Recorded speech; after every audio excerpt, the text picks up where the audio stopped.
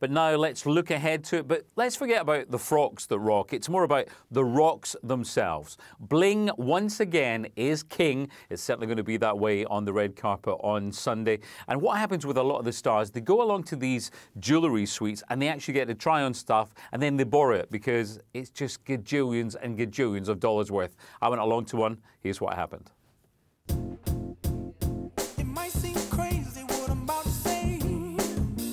Michael O'Connor, stylist to the stars. This has got to be a crazy time for you. this is absolutely a really crazy time because, of course, even the time that you've been here, so much jewelry has gone out of the door here from $25 million down to God knows what. so now, on the carpet on Sunday, Golden Globes, what are the trends? What are we looking for?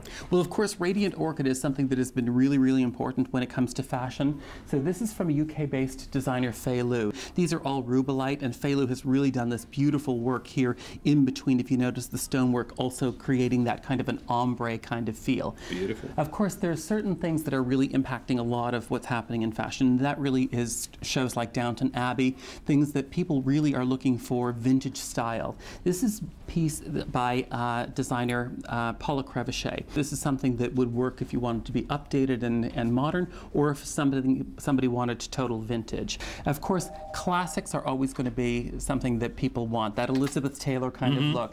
And this is by a designer, Reyes Takat, Takat oh, Jewels. Stunning. And red carpet to royalty, he dresses everybody. And these are a beautiful pair of emerald and diamond earrings that I think would be perfect on the red carpet. I think you can say perfect on me. they might be perfect on you, you too. Know. Bring out your eyes. no, I need the red ones for that. Michael, it's always an absolute pleasure. Thank, Thank you. Thank you. Great to talk to you. Wow, Ross, I noticed that guy in the back was making sure you didn't slip them in your pocket.